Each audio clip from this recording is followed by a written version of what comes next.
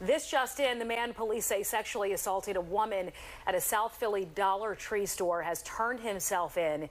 The attack gaining national attention, even rapper Meek Mill tweeting today that he would award $2,000 to the person who finds him.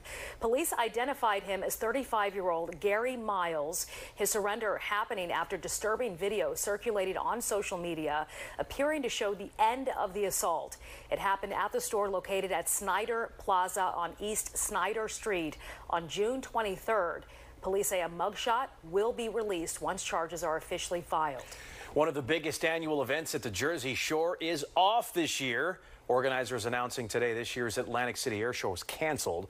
The event has drawn hundreds of thousands of people to AC for decades, two decades as a matter of fact. Shawnette Wilson reports.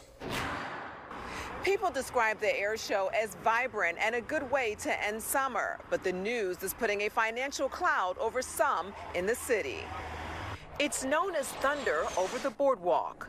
But this year, the sky over the beach in Atlantic City will be quiet in mid-August. City officials announcing today that this year's show is canceled. My mom loves the air show. Ryan Sullivan, walking the boardwalk with friends this evening, was surprised to hear the news. When you have jets flying around, it's a different experience, you know. The announcement comes a month and a week before the show called a salute to those who serve was supposed to land here.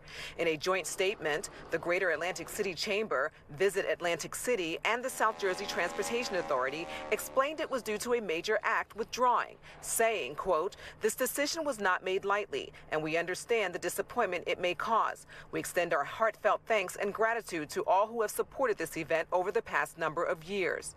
Now, we reached out to each organization for further comment, but have not heard back. It was just this past March the governor's office announced the Transportation Authority was providing $300,000 to help save this year's show. Adam Badawi says the Sea Club, where he works on the boardwalk, will notice the absence of air enthusiasts this year.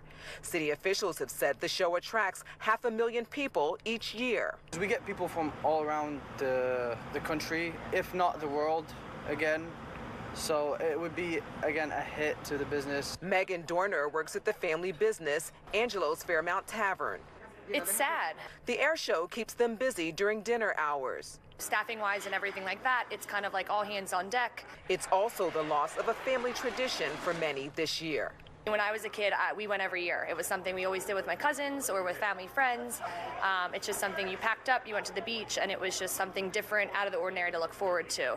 In Atlantic City, Shawnette Wilson, Fox 29 News. Developing right now in Philadelphia, a 33-year-old man stabbed once in the neck in Wissinoming. It happened around 7.30 tonight on Comly Street. Police raced him to the hospital where they say he's critical.